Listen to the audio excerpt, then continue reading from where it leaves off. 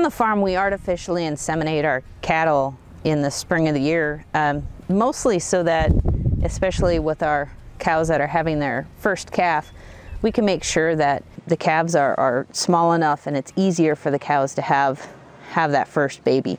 With as hands-on as we are, uh, making sure that everything goes as smoothly as it can and that the cows are as comfortable and as safe as possible.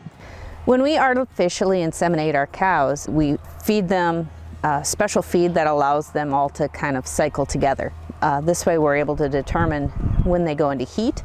Uh, when they all cycle together, we're able to predict better when our cows should be calving. So we can keep a closer eye on them. We can make sure that they're calving inside the barn and we know exactly when to start expecting those new calves.